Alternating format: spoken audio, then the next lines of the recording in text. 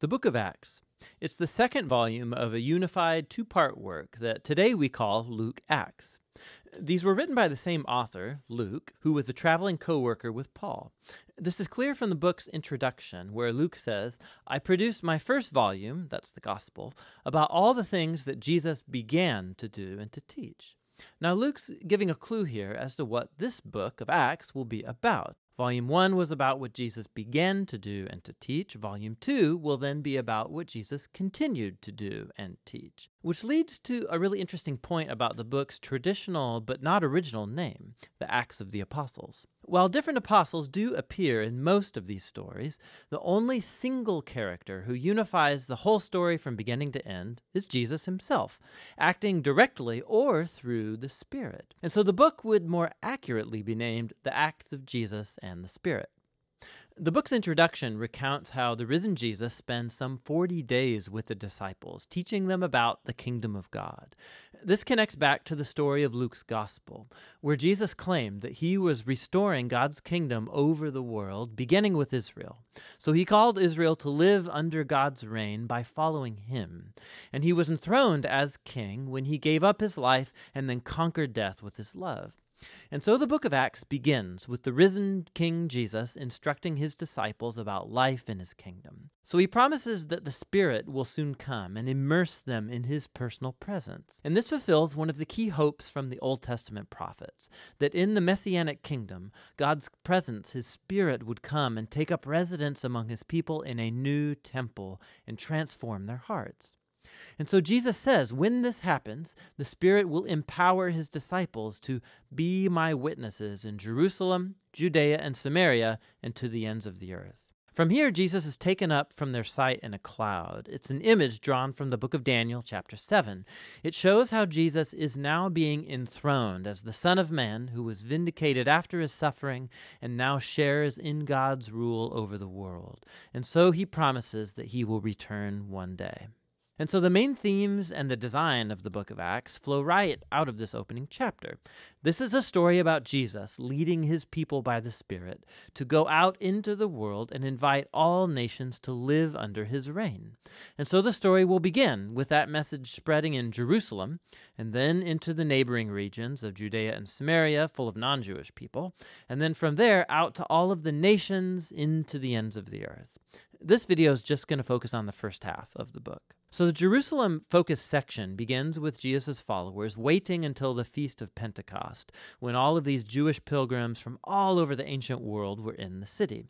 And the Holy Spirit comes on the disciples as a great wind, and something like flames appear over each person's head, and together they start announcing and telling stories of God's mighty deeds. And they're speaking in all of these languages that they didn't know before, but all the people gathered there understand perfectly. Now, in order to see what Luke's emphasizing in this story, it's crucial to see the Old Testament roots of all of these images.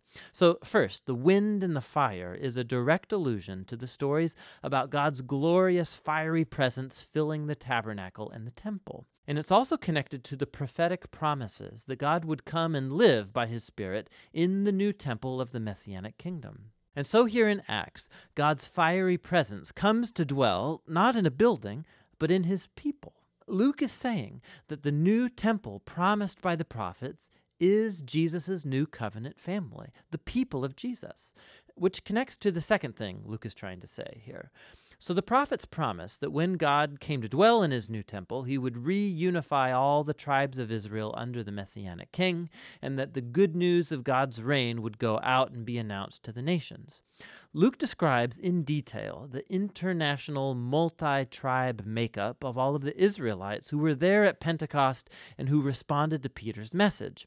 And so the apostles keep calling Israelites to acknowledge Jesus as their Messiah, and thousands upon thousands respond, forming new communities of generosity and worship and celebration. But not everybody's celebrating. From here, Luke shows how Jesus' new family quickly faced hostility from the Jerusalem leaders. With a really beautiful symmetrical design, Luke tells a tale of two temples. So, God's new temple, the community of Jesus' followers, they're gathering every day in the temple courts and from house to house. Now, in between those notices are two stories about Peter and the other apostles healing people in the temple courts, only to get arrested by the temple leaders, followed each time by a speech of Peter claiming that Jesus is the true king of Israel. And at the center of all this is a story about Jesus' followers donating property and possessions to a common fund to help the poor which is really cool, but it seems kind of random for Luke to mention it here until you realize that this was a practice described in the laws of the Torah and was supposed to be happening through the Jerusalem temple and its leaders. So Luke's point here is clear. The new temple of Jesus' community is fulfilling the purpose that God always intended for the Jerusalem temple to be a place where heaven and earth meet, where people encounter God's generosity and healing presence. And this conflict between the two temples, it culminates in Acts chapter 6 and 7. It's the first wave of persecution. So Jesus' followers, they continue to multiply, requiring more leaders. And one of these, Stephen, he's a bold witness for Jesus in Jerusalem. And he ends up getting arrested and he's accused of speaking against and even threatening the temple. And so Stephen here gives a long speech showing how Israel's leaders have always rejected the messengers God sent them, including Jesus and now his disciples. So the Jerusalem leaders are enraged. They murder Stephen and they launch a wave of persecution against Jesus' followers that drives most of them from the city. But it has a paradoxical effect. Luke shows how this tragedy actually became the means by which Jesus' people are now sent out into Judea and Samaria. Now, in this section, Luke has collected a diverse group of stories that all show how the mostly Jewish, Jerusalem based community of Jesus became a multi ethnic international movement. So, first is the mission of Philip into Samaria. It's the land of Israel's hated enemies, and many of them come to follow Jesus. Next, we have the conversion of Saul of Tarsus, later known as Paul.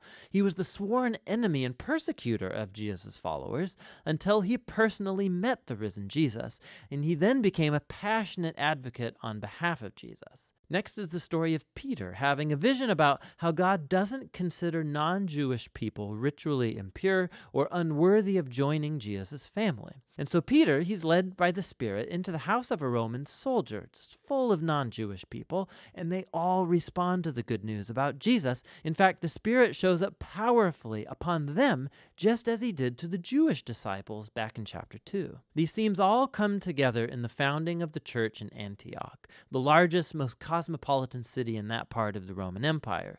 And Luke, he tells us that Barnabas, a Jewish leader from the Jerusalem church, went along with Paul to help lead this church community. And so it became the first large multi ethnic church in history.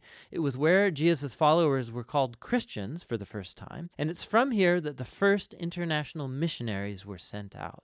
And so we see Jesus' commission coming true, and this takes us into the rest of Luke's story. But for now, that's the first half of the book of Acts.